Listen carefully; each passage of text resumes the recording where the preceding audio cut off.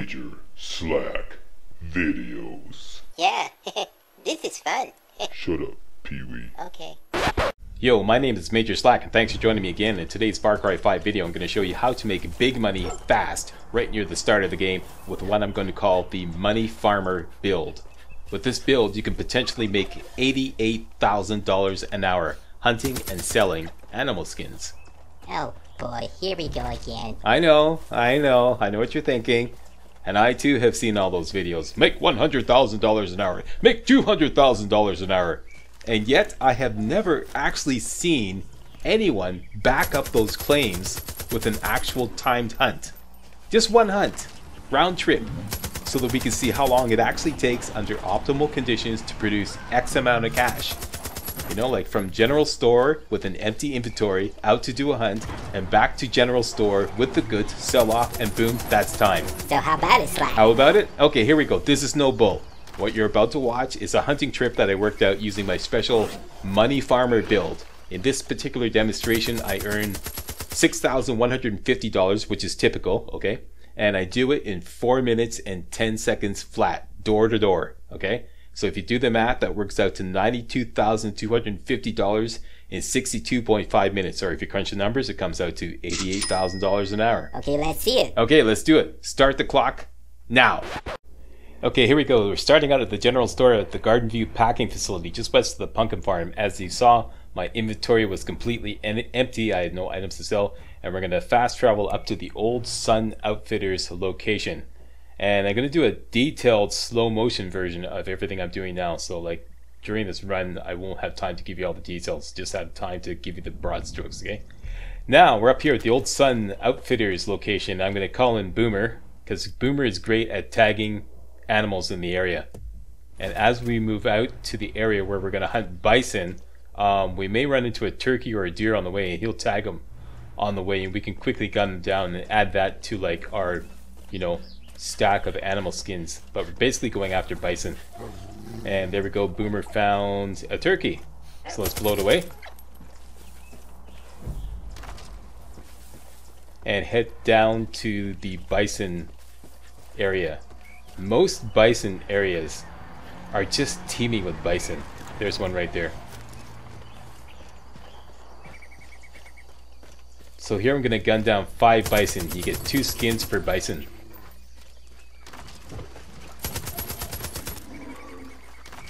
That's four.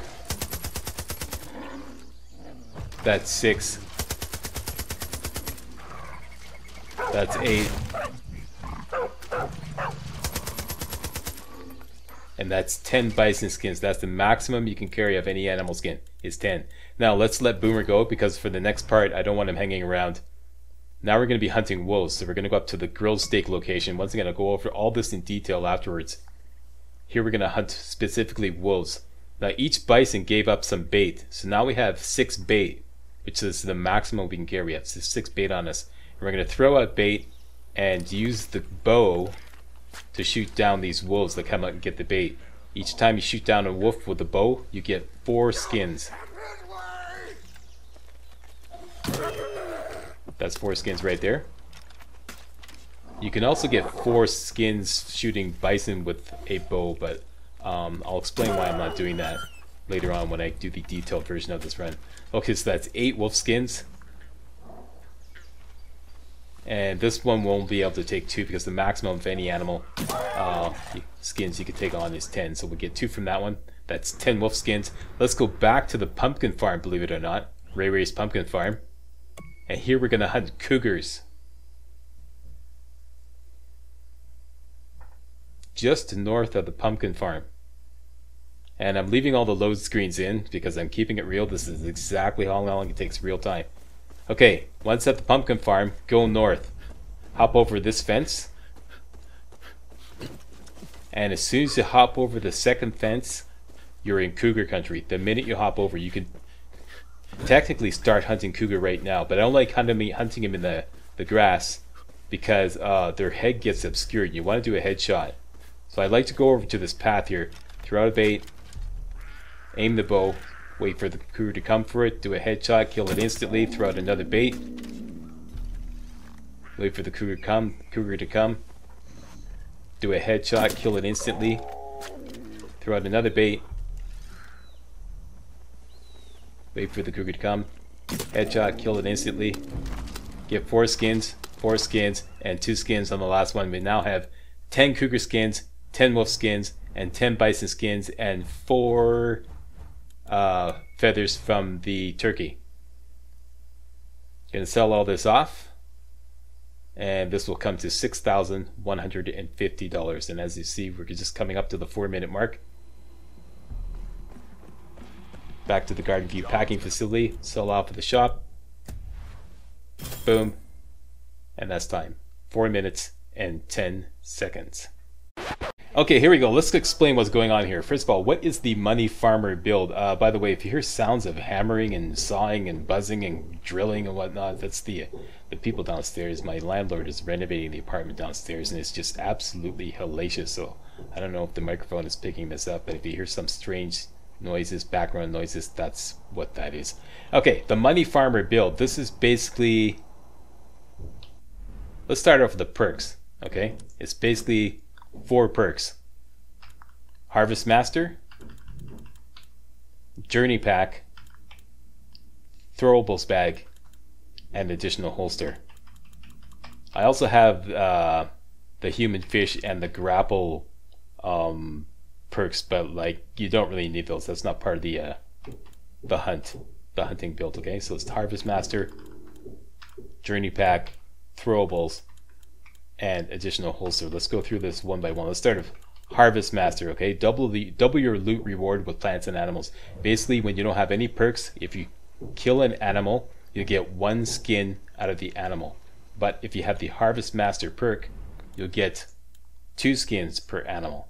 And on top of that, if you kill an animal with a melee bat, melee weapon, or a compound bow, or any kind of bow, you'll double up your loot again.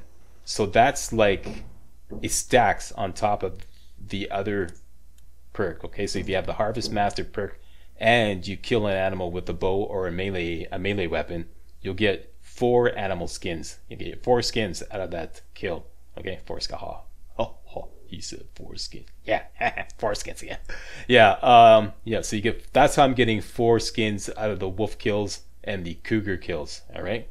Uh, that's number one. Number two, the maximum number of skins you can carry in your backpack by default is five of any animal type. So at the beginning of the game, you don't have any any perks, here I would only be able to carry five bison skins.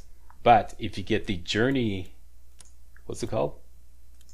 The journey pack. If you get the journey pack perk, this will double up the amount of skins that you can carry. So we'll go from 5 to 10. So that's very important if you want to hunt for money. Um, next, the throwables bag. Uh, there's basically two kinds of animals.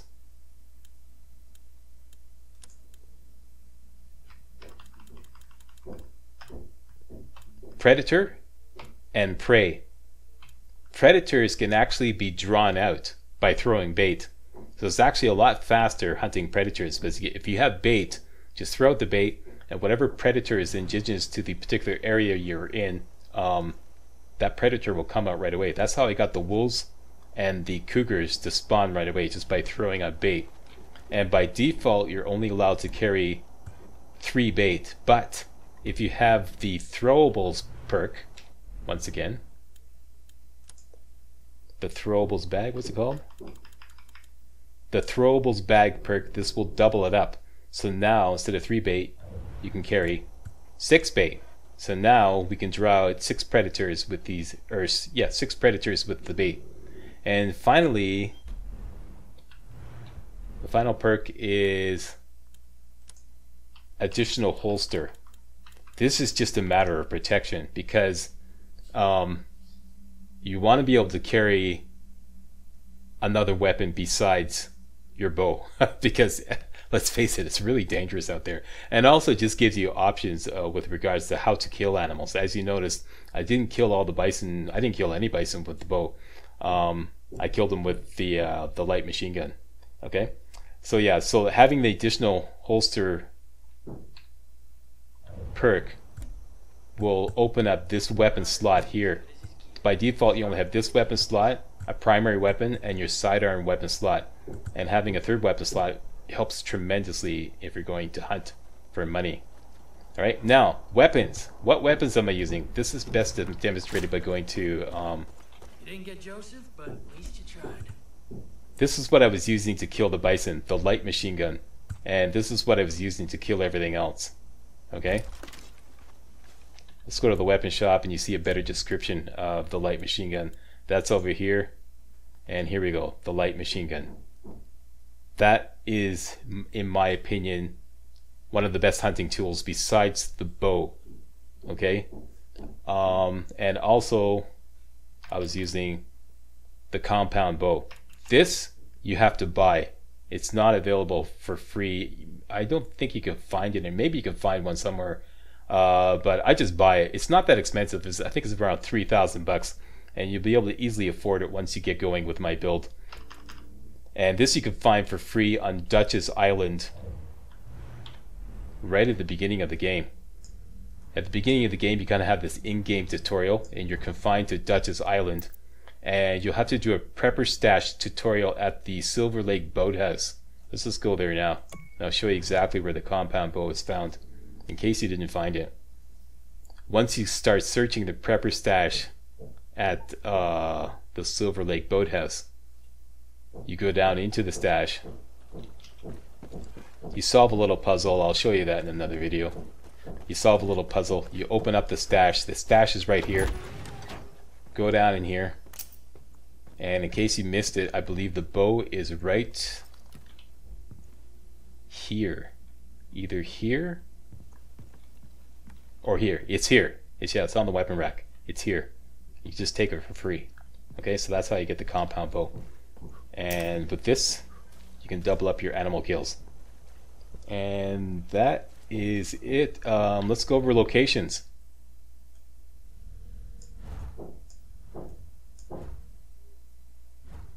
Rae Rae's Pumpkin Farm is one of the first locations. This whole build, basically, I wanted to be centered around resources that you could easily access right near the beginning of the game. There may be better bison hunting grounds, you know, but um, you'll have to like take a helicopter and fly out to like way out to these like extremes. I, I didn't want to do that. I wanted to find areas that were like easily accessible right near the beginning of the game. Okay, so Cougar Country, just go like southwest of Dutch's Island. This is one of the first main missions you get is to free a Boomer at the pumpkin farm, okay? And just north east of the pumpkin farm is cougar country. And it basically starts, like I said, at that fence. Let's fast travel back there now.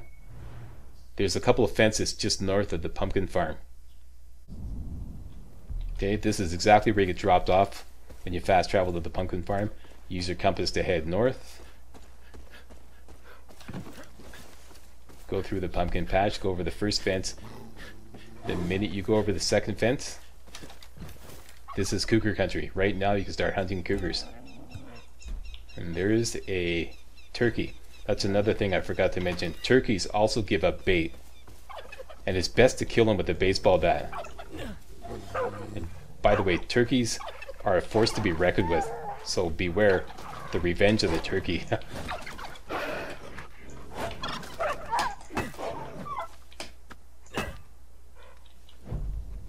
and like killing a turkey with a baseball bat?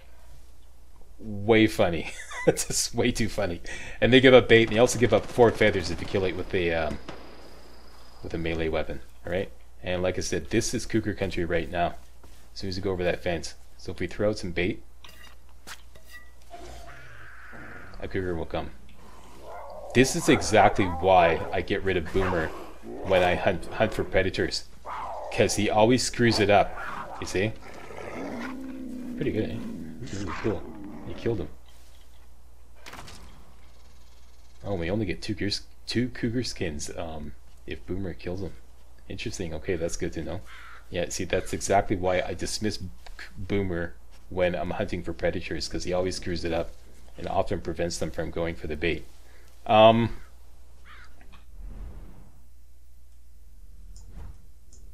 Bison Country. There are bison locations all over the place. This is the one I selected because it's the easiest to unlock from the beginning of the game. It's right beside Old Sun Outfitters. Okay, this whole area here, beautiful bison country, wide open plains. You can see them for a mile off. And the reason why I prefer hunting bison is because they're huge. They're huge freaking targets. And wherever you hunt for bison, there always seems to be a bazillion of them. There's there's so many. It's like unlimited. Okay. So that's where I go there. And what you can do to discover that right near the beginning of the game is buy yourself a boat at the boat shop. It only costs you like a thousand bucks, and then just boat up here. Boat straight across the river. It can take a couple minutes. Go up here and you just discover Old Sun Outfitters, and now you get a fast travel point to hunt bison. And just north of there is the grill steak uh, location. And everywhere north of this road and west of this road in this area here is wolf country. Nothing else will spawn if you throw out bait. There's actually, um, you can actually hunt for wolves at the pumpkin farm. Right here at the pumpkin farm, you can hunt for wolves. The only problem is, and I don't like doing this. I see other guys when they when they do like their hunting tutorials and hunting trips, they rely on random spawns. I really don't like random spawns. For example, hunting in this area here, if you fast travel back to Rae Rae's pumpkin farm and hunt in this area here, you throw out a bait, this will produce randomly either a wolf or a bear. Let's try this again. Throw out another bait. Got another wolf this time. Let's try it again. And there we go. This time we got a bear. So it's random. This is the kind of random predator hunting I don't like. Because let's say you get six bears in a row and then you can't take on any more bearskins. Um, you know, you're kind of screwed.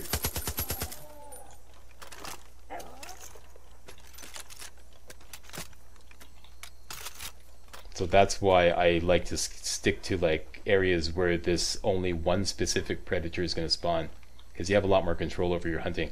Let's go back to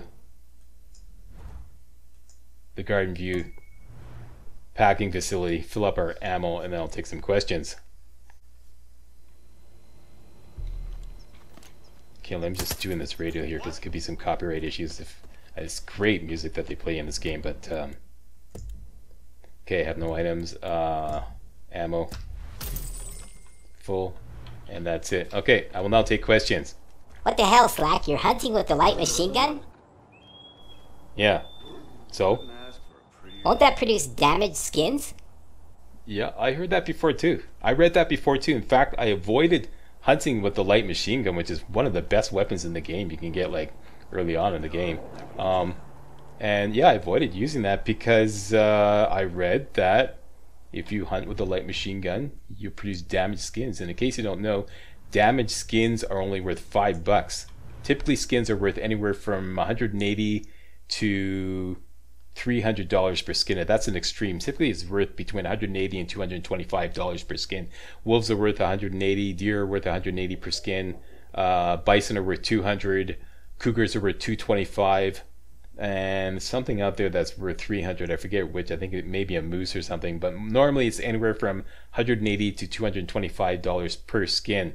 Now if you damage the skin i've done this before if you run over an animal with a vehicle and you produce what's they call as roadkill when you try to loot the animal you just pick up damage a damaged skin it's only worth five bucks.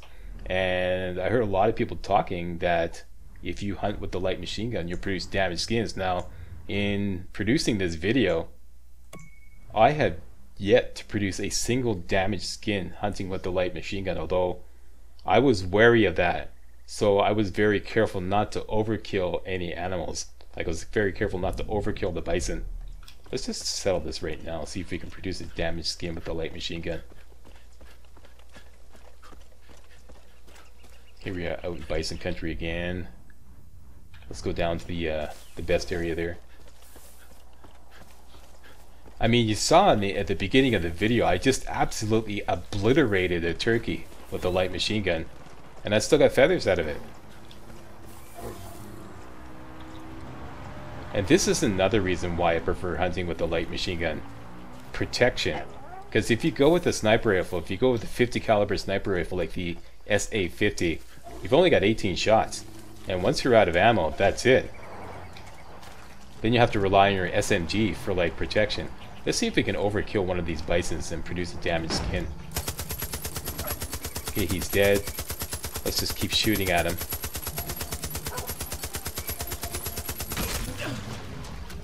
And this bison got peed off. Looks like they, they don't like overkill. Okay, how many rounds did I pile into this? Check that out. This is insane. Hilarious. Okay, and I got two normal skins. That was total overkill too. I mean, come on. How many rounds did they pile up, pile into that bison? I don't know. Maybe you have to chase them all over the countryside and be a real bad shot, pile in a lot of body shots. I don't know what's going on. Let's try it with this one. Let's see your inventory, Slack. Okay, let's see the inventory. Go to the inventory. No, it would say it would would not be listed as a bison skin. It would be listed as a damaged skin. Okay, let's go for this bison body shots.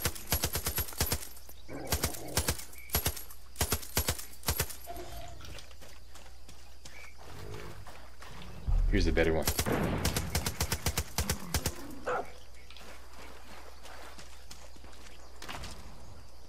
Two bison skin. I'm not seeing it, people. I'm not seeing it. Um, I'm not able to produce a reliable test where I can, you know, produce a damaged skin with a light machine gun. So uh, it's either it's bullshit or it's it's it's like very specific circumstances. That's that other one. There, we finally killed it. Two bison skin.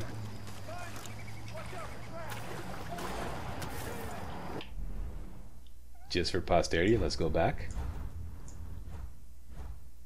Sell off. I'll show you that they're normal bison skins.